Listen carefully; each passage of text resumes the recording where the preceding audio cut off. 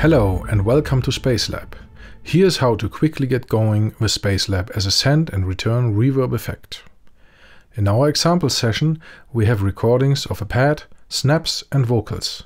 Let's have a quick listen. As I'm running through, running through this jungle, I see faces. I'm looking back at you, back at you, but you won't stop chasing. Don't make me mirrors here. I'm about to fall if I run through all these barriers.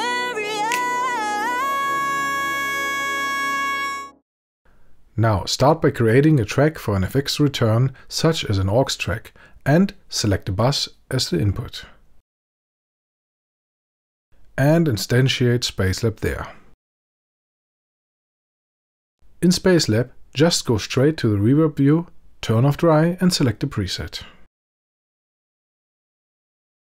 Create a send on the track you want to put reverb on. In our case, it will be the vocals. Hit play and adjust the send volume to get the right amount of reverb.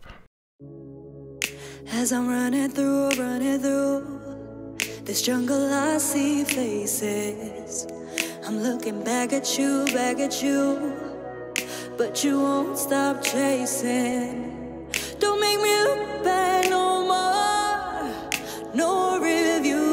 I'm about to fall if I.